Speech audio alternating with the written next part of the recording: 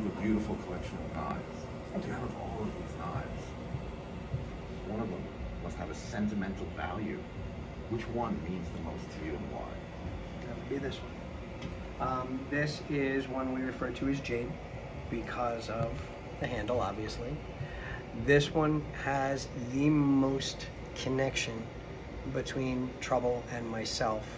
It is her favorite, and being that it is her favorite and she's my favorite, we use this one for the most connected, sensual part of a knife play scene.